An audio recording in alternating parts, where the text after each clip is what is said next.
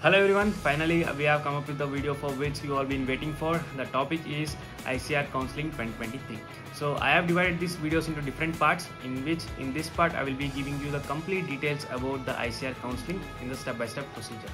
The step 1 will be the release of your rank card and 5 to 10 days of the release of your rank card there is a step 2 where the ICAR will be opening the portals for the registrations to the students and with the detailed brochure for separately for JRF and SRF and from the step 3 there will be total of 4 rounds.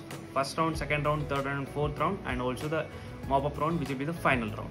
In the first round if you get the seat there are two options. Either you can accept the seat or go for upgradation and similar process will go on further for second third and fourth round. And for the mop up round the eligibility criteria is a little bit different. I will be coming up with a separate video to explain the eligibility criteria if you want to attend this mop up round.